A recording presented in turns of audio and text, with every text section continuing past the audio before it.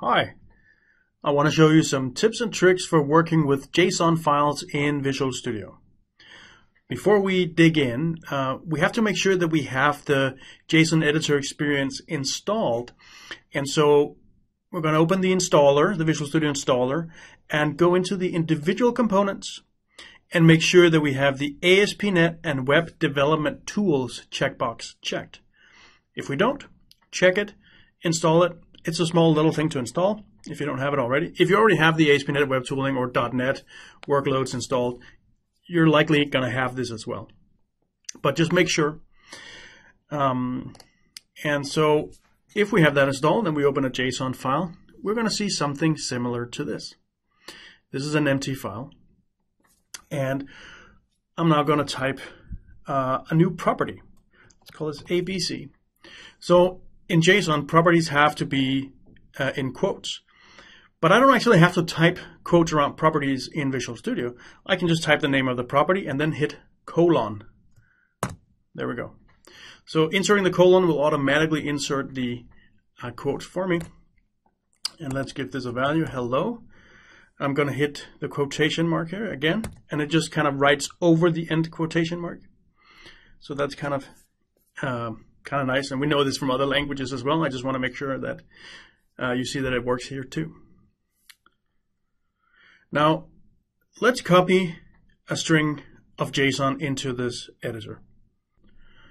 Let me just copy this line that I have right here and I'm going to copy it in after my existing property. So I'm going to hit enter and I'm going to hit control V for paste. Notice how Visual Studio automatically formatted the string that I pasted in so it's no longer minified in one line as, as what I was copying.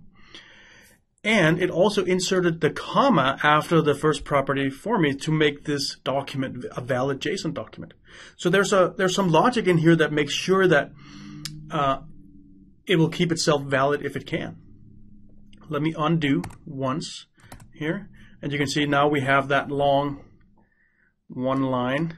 Um, I'm going to undo again, and then we're back to where we started. I can also paste this on top. So let's paste it right here. And we see the same formatting happening. And now the comma was added to the end of what I pasted in, again, to make the document valid. Uh, the final thing I want to show you here is um, the light bulbs. So we have a light bulb that lets us sort properties alphabetically. So now we can see here ABC is now the first one because alphabetically it's before friends it will automatically sort the properties that are on the same level or in the same scope um, as the one that you're you're clicking on. Um, and that makes it super easy. You can go into to nested um, objects and arrays and whatnot and easily order alphabetically in there. Um, there's also a feature for working with schema files. So let's say I want to write a JSON version of a resume, um, there's a chance that if I look through all the different schemas that are supported, that one of them will be a resume. And it is. So these are well-known formats of JSON files uh, that's coming from schemastore.org, which Visual Studio automatically uh, integrates with. Uh, and that gives us full IntelliSense for what a format like this could be. So if I were to write um, a resume, I might use an existing format. Could be something like this. It even makes sure that I don't do any uh, mistakes. So let's say awards here. Let's say I made a spelling mistake here. It will actually call that out saying, hey, no, this is not a valid property. So all that information is coming from the schema.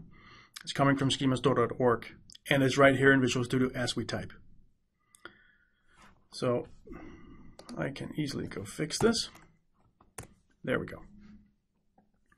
So that was the first round of uh, tips and tricks with JSON. We're going to have another video showing much more about JSON schemas, how to write them, how to use them. So stay tuned for that. Thank you.